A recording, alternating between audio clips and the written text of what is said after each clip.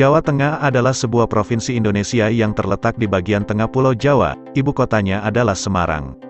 Luas wilayahnya 32.800,69 km persegi, atau sekitar 28,94 persen dari luas Pulau Jawa. Penduduk Jawa Tengah berdasarkan Badan Pusat Statistik tahun 2021 berjumlah 36.516.035 jiwa dengan kepadatan 1.113 jiwa per kilometer persegi. Merilis dari data Badan Pusat Statistik, Daftar Fakta Unik telah merangkum dan mengulas delapan kabupaten kota, terkaya di Jawa Tengah.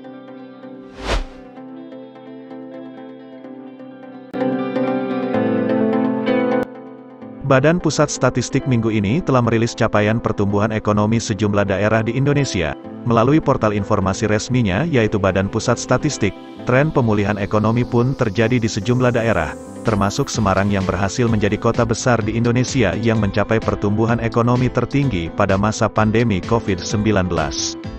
Sesuai data Badan Pusat Statistik, Kota Semarang berhasil mengangkat laju pertumbuhan ekonomi yang semula melambat minus 1,85 persen di 2020, menjadi cepat tumbuh positif 5,16 persen di tahun 2021.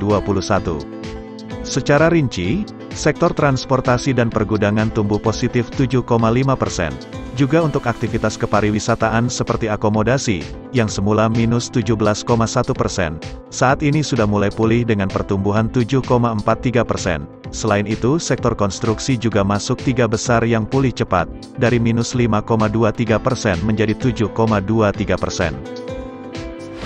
Garis kemiskinan kota Semarang tahun 2021 adalah Rp543.929 per kapita per bulan.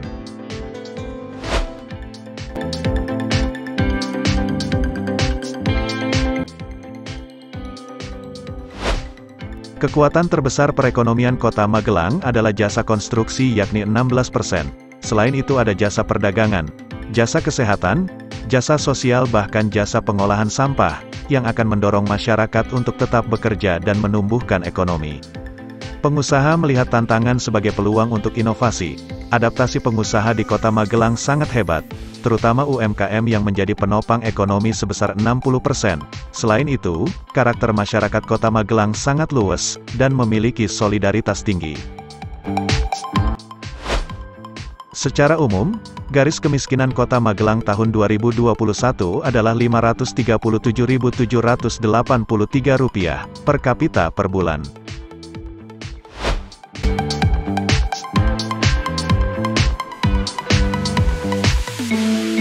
Secara umum, terdapat tujuh sektor usaha yang tetap mengalami pertumbuhan positif. Dari jumlah tersebut hanya sektor informasi, komunikasi, serta jasa kesehatan dan kegiatan sosial yang tumbuh lebih tinggi dari tahun sebelumnya. Kebijakan work from home dan school from home membuat permintaan pada sektor ini naik sangat signifikan. Sektor jasa, kesehatan, dan kegiatan sosial mengalami pertumbuhan sebesar 8,22 persen. Hal ini tak terlepas adanya peningkatan biaya kesehatan yang dikeluarkan oleh pemerintah.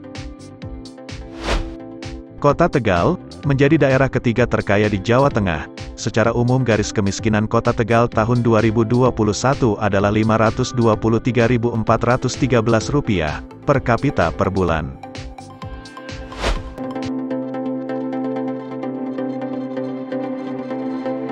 Sebelum terjadi pertumbuhan yang positif, pertumbuhan ekonomi di kota Solo minus 1,74 persen, sedangkan Jawa Tengah juga tumbuh negatif minus 2,05 persen dan nasional minus 2,07 persen.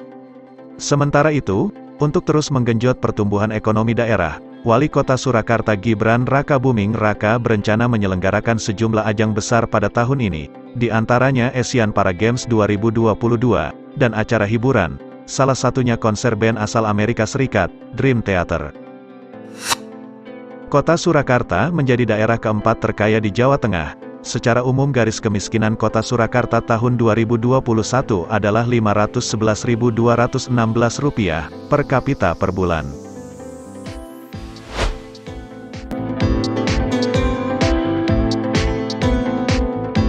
Perekonomian kota Salatiga pada tahun 2021, berdasarkan besaran produk domestik regional bruto, atas dasar harga berlaku, ADHB, mencapai 14.006,59 miliar dan atas dasar harga konstan, ADHK, 2021, mencapai 9.820,29 miliar rupiah. Ekonomi Kota Salatiga tahun 2021 tumbuh 3,33 persen. Pertumbuhan tertinggi terjadi pada lapangan usaha informasi dan komunikasi sebesar 6,31 persen. Sumber pertumbuhan tertinggi berasal dari lapangan usaha industri pengolahan, sebesar 1,30 persen. Kota Salatiga, menjadi daerah kelima terkaya di Jawa Tengah. Secara umum garis kemiskinan kota Salatiga tahun 2021 adalah Rp480.903 per kapita per bulan.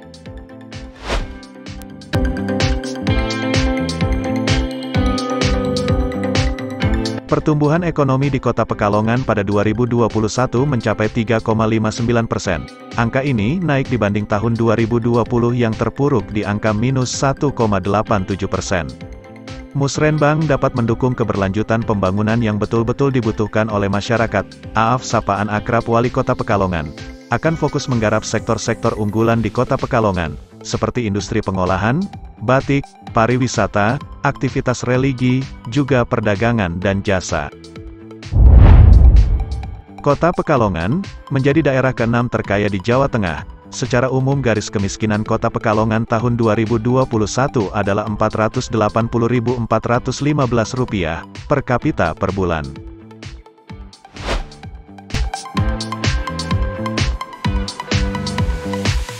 Pada 2022 pertumbuhan ekonomi di Kabupaten Pati mulai membaik, setelah terpukul akibat adanya pandemi COVID-19, hal tersebut diungkapkan oleh Anang Sarwoto Kepala Badan Pusat Statistik, Kabupaten Pati.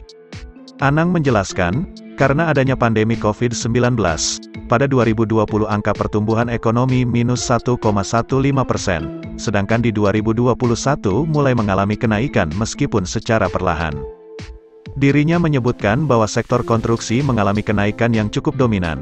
Jika dibandingkan dengan sektor lainnya, sektor tersebut mengalami pertumbuhan sebesar 9,96 persen.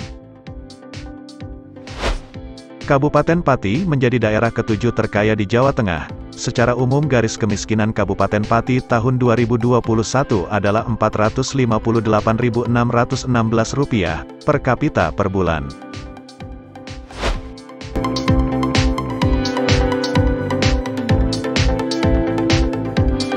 Kisah Kudus sebagai kota kretek, dimulai ketika Haji Jamhari hidup pada masa akhir abad 19. Rokok kretek ditemukannya, bermula dari niatnya mengobati sesak dada yang diderita. Dia mengoleskan minyak cengkeh ke dadanya dan merasakan hal yang berbeda. Sesak dadanya sembuh, dan dia percaya cengkeh bisa mengobati sesak dada.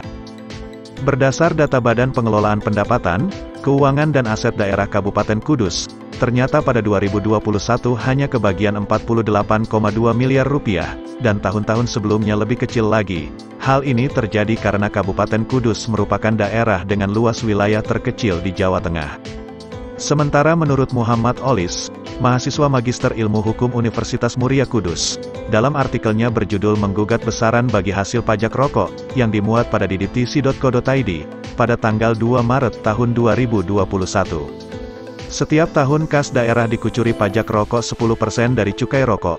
Hal itu menjadi tambahan amunisi.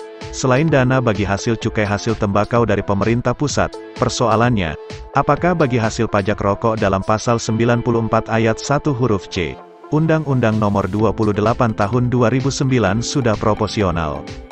Regulasi itu membagi pajak rokok menjadi dua bagian, Jatah provinsi 30%, bagian kabupaten kota di provinsi itu 70%. Kabupaten Kudus menjadi daerah ke-8 terkaya di Jawa Tengah. Secara umum garis kemiskinan Kabupaten Kudus tahun 2021 adalah Rp450.992 per kapita per bulan. Sekian dulu ulasan video kali ini, jangan lupa subscribe, like dan komen. Agar saudara yang pertama mendapat update video terbaru dari Daftar Fakta Unik. Terima kasih.